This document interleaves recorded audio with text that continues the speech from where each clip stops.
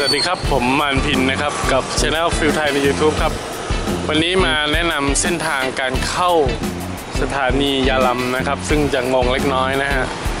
ก็ตรงนี้จะเป็นถนนงอกลำนะฮะ ก็ข้ามฝั่งมาจากย่านที่พัก backpacker เมืองฮานอยนะครับ ข้ามแม่น้ำมานะครับ ตรงนี้ถนนงอกลำแล้วก็มีสวนสาธารณะอย่างนี้นะครับ แล้วก็ตรงนี้เนี่ย จะมีป้ายนะมันต้องเข้าซอยเข้าตอกนะครับ แนะนำว่าให้ใช้ GPS นะครับ Google Map หรืออะไรพวกนั้นเนี่ยมาร์กไว้ในแผนที่ถ้าเวลาจะมานะฮะตรงนี้ก็มีต้นไม้นะครับ แล้วก็ตรงนี้มีป้ายนะครับนี่เขาบอกว่ากากายาลัมนะครับ ก็คืออยาลัม railway station นะฮะ ga ก็แปลว่าสถานีเนี่ยร้อยเมตรเนี่ยเข้าไปถึงร้อยเมตรนะครับ ก็ตรงไปตามนี้ฮะ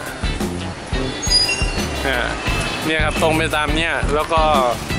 เลี้ยวขวาเข้าไปครับประมาณไม่เกิน 200 เมตรนะครับ ก็จะถึงสถานียาลัมนะครับ ซึ่งจะถามว่าถ้า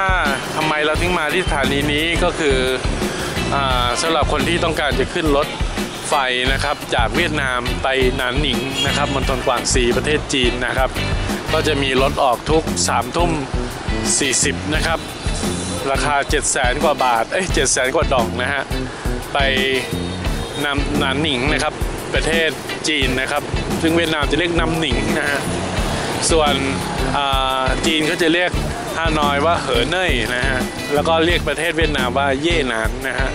เย่หนานกวอก็คือประเทศเวียดนาม อันนี้ก็ให้ข้อมูลไว้ถ้าใครที่จะเดินทางไปกวางซีด้วยรถไฟนะครับ อยากจะลองรถไฟนะฮะ ก็ตามนี้นะครับ เวลาจะบอกภาษาเวียดนามบอกมาฐานียาลัมนะก็บอกดีดีกายาลัมนะฮะยาลัมเนี่ยก็อันนี้นะครับไม่ได้อ่านว่าเกียร์ลัมนะอ่านว่ายาลัมดีกายาลัมก็คือไปสถานีรถยาลัมนะฮะถ้าเพิ่มไม่ชัดๆก็บอกว่าอ่ายาลัมอะดี